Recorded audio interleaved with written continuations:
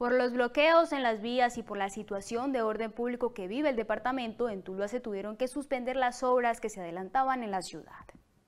En el municipio de Tuluá se venían realizando obras de pavimentación en varios barrios del corazón del valle. Asimismo, la construcción de las instituciones educativas que habían quedado inconclusas en otras administraciones. Esto se debe al aumento del precio de los materiales de construcción y la escasez de otros insumos.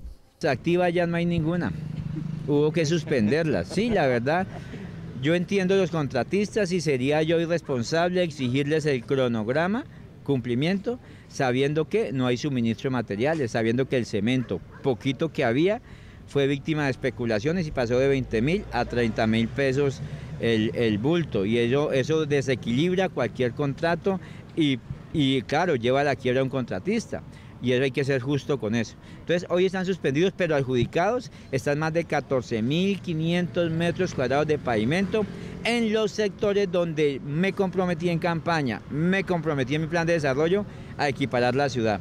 11 barrios del occidente tulueño, del noroccidente tulueño, sobre todo la parte de bosques de Maracaibo, Flor de la Campana, Tercer Milenio, bloques de San Luis, San Luis, etcétera, etcétera, son barrios que hoy ya está adjudicado pavimentos que durante muchas décadas hemos estado esperando los dueños de ese sector. Si te gustó esta nota de CNS Noticias Tuluá, no olvides suscribirte a nuestro canal de YouTube Teluro Producciones y activar la campana para que te lleguen todas las notificaciones.